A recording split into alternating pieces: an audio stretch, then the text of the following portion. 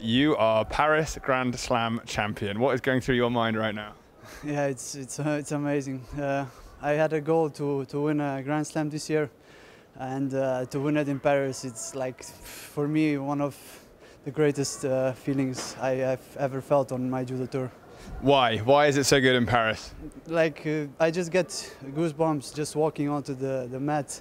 Like no matter if you fight a French player or you fight anyone else, even if you're not French, like you see the people cheering for you, cheering for good judo, and that's what uh, this is really about, you know. Yeah, talk, talk me through that. The crowd, they really engage with, with the judo.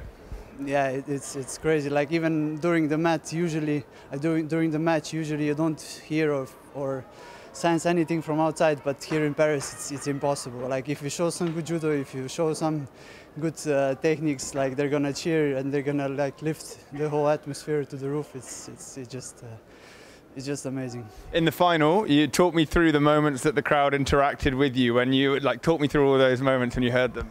Yeah, yeah, I, I got excited when I started to turn him in, in ne-waza and I heard the crowd like just like cheering me up, like go to the end. It was like this this is awesome. Like they want me to win also, you know. So uh, yeah, it's an absolute pleasure to fight to fight in Paris. Two in a row crazy. How are you managing to? You also after Portugal, we've sensed a little injury you had. How have you managed to uh, do, do two back to back? I, I, did that once last year and it wasn't really good, so I wasn't really uh, uh, up for this when my coach mentioned it. But uh, he told me that we're in good shape now and that I'll recover fast after the competition in Portugal. So I trusted him. I didn't do so much training this week. I just focused on losing my weight and uh, yeah, it ended up the way this, the way it did, amazing. Another nice moment where we saw you take it in. We saw you center yourself. Talk me through what was the difference in centering yourself in Portugal and now, and like what's going through your mind.